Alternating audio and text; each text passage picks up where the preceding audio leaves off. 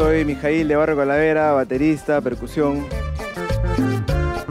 Hola, soy el Wincho, vocalista de Barrio Calavera. Hola, ¿qué tal? Soy Pablo, guitarrista de Barrio Calavera.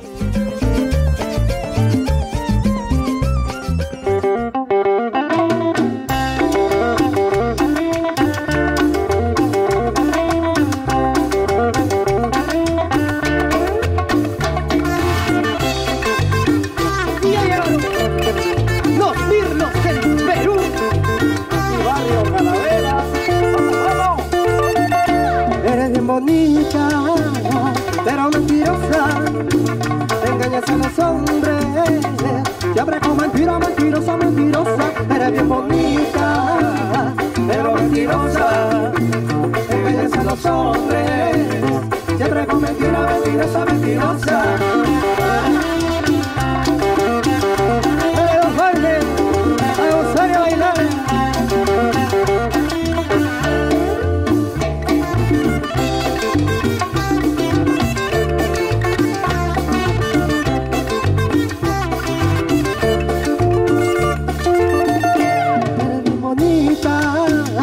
pero mentirosa.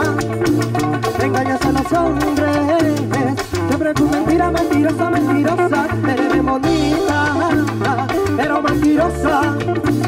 Engañas a los hombres, siempre con mentira, mentirosa, mentirosa.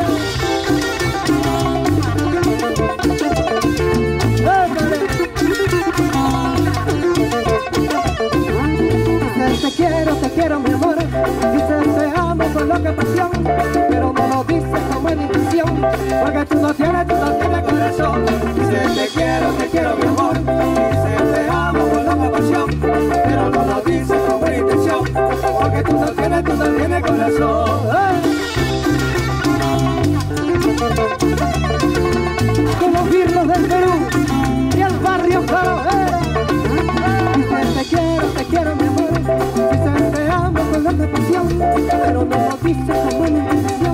porque tú no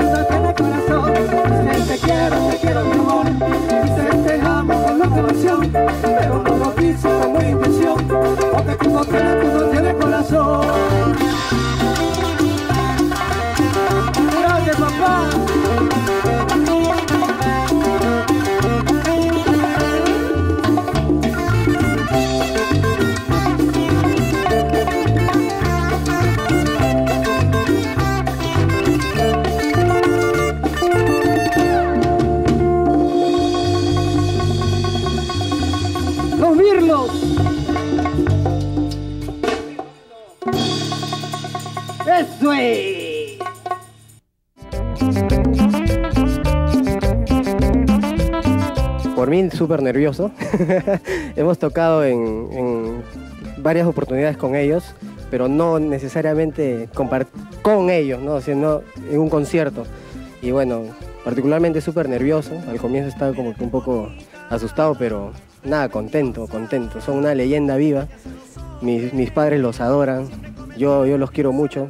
Tengo familia que es de la selva, así que varios que nos van a ver por ahí se van a emocionar bastante con todo esto.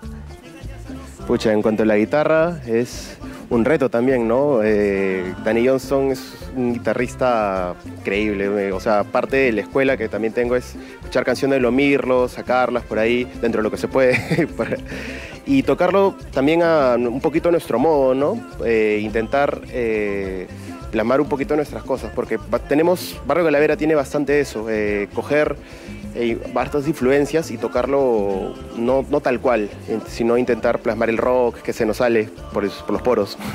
el bajista de los Mirlos tiene una forma particular y, la batería va en base a. Va, amarrada con el bajo, ¿no? Entonces, esto es una experiencia diferente musicalmente hablando, esto por.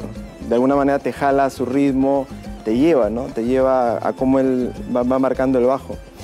Esto, después las percusiones, ¿no? De hecho las percusiones esto, eh, tienen cortes diferentes o cortes esto, eh, que no acostumbramos mucho, pero no dejamos de sorprendernos con su sonido y ni mucho menos dejamos de sentirnos muy emocionados de estar esto ahora con ellos tocando eh, una canción de ellos, ¿no?